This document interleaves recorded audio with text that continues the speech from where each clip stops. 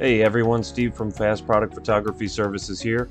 After you finish this video, if you need any product photos taken for your Amazon products, or really anything e-commerce, come visit us at Fast Product Photography using the link in the description.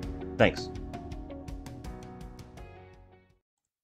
Okay, so today we're going to take a look at a couple of different options for making lines, and specifically what we're going to look at is um, putting a pointer on the edge of each line and then we could do also on both sides and it's very very simple so this should not be a long video. So let's dive right into it. We're going to go into a blank screen here and um, I, I believe I have it set to do just a standard line at this point. Let's see.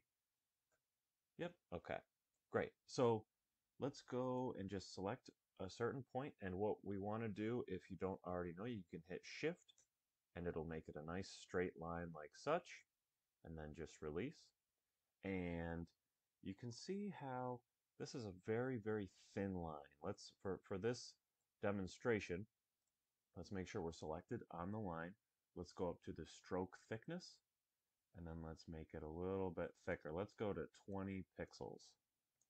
Okay hit enter and there you go. So that's how you can adjust the thickness. You just have to adjust the thickness of the stroke. So let's move on to putting a pointer on the edge of a line similar to this. So all you have to do while you're still selected on the line, go up to the preferences gear wheel here, and then it'll show you the different options and what we want to do for this one is for arrowheads, we want to select we want to select end, and here you can show the different width that you could do for the arrowhead and the different length that you could do for the arrowhead, and then even a little bit of concavity.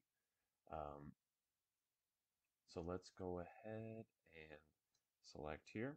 And you can see how the arrowhead's already on there. And let's hit shift just to make it straight to go along with the other one.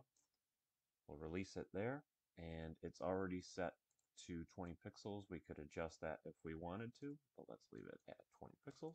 Hit enter and there you go. You've got yourself a line with an arrowhead on it. And to do on both sides, it's the same thing. Just go in there and select the one for start. And of course, you could do it just as start with no end, but um, for this, we're just going to do a start and an end, and we'll just go below that one, start it there, hit shift, make it straight, and match it up.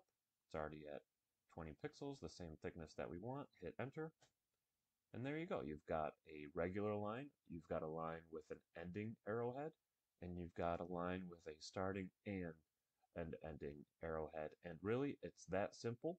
Uh, so you guys can use this over and over again. It's a, it's a nice and simple technique, and there, there's all kinds of applications. Uh, but that's it. So I hope you guys enjoyed this video. Thanks.